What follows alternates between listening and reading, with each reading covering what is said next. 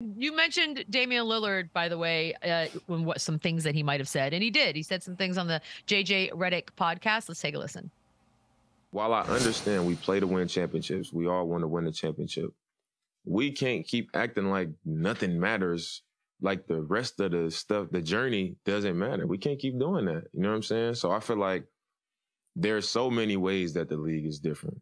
There's so many ways, and I I think about it all the time where I'm like, man, I just don't.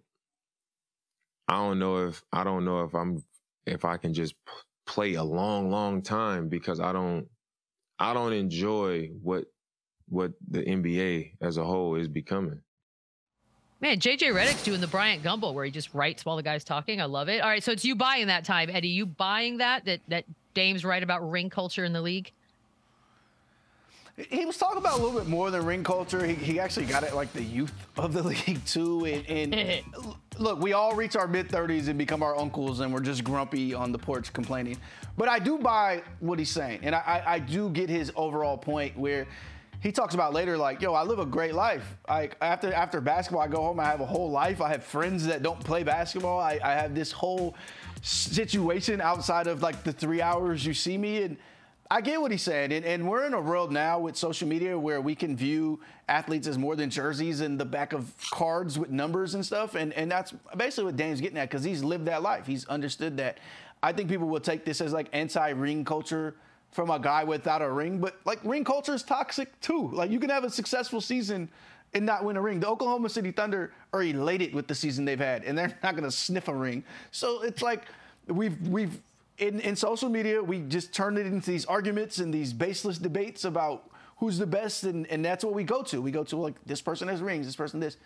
And so he's right. I'm with him. I, I think it's might be right message, wrong messenger because people are going to immediately say, well, of course you don't care about rings. You don't have none. But he makes a great point. I, I'm curious about Chandler too because he's he's lived that. He's lived that like, yo, I leave the locker room and now I go back to regular life and people think of me as a contract and all this stuff. So I know you had to have heard this and like, yo, he's cooking, he's podding right now.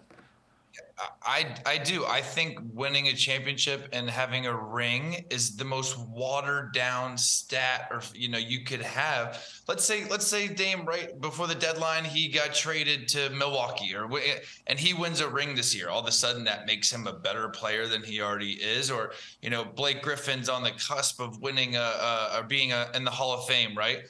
He wins a ring this year in Boston. That just he's now an NBA champion, so he's now a Hall of Famer, even though he did really nothing for the Celtics all season long. Like I don't understand that. Like Zaza Pachulia, he gets all these rings in three years, but then so teams want him to bring that championship championship experience and culture to the locker room. It's like that's where it gets watered down because anybody could get a championship. Like Damian Jones, I think has three rings. I don't even I don't know where he's playing right now. So like it is it's it's what you play for, it's what you want, and it is not even I'm not even going at those guys that you know that I just mentioned because it's just it's part of it, and it's part of it where like uh, that's why you see guys at the end of their career that they have all the stats, they have the resume, all they need is a ring.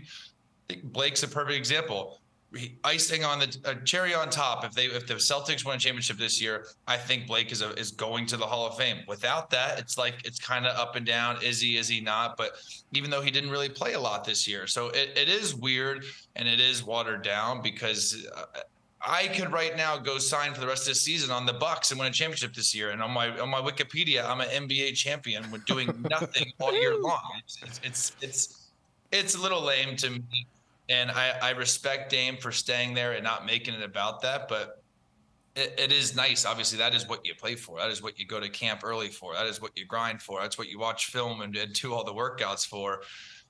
But it is just like when you're look, talking about who's better. Well, this guy's got this many rings. That guy, like, it's silly. Like it's it's it's a silly argument.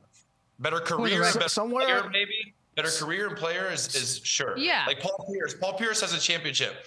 I think Tracy McGrady was better at basketball than him, but he doesn't have a championship. You know what I mean? So it's it's two different art. It's two different arguments.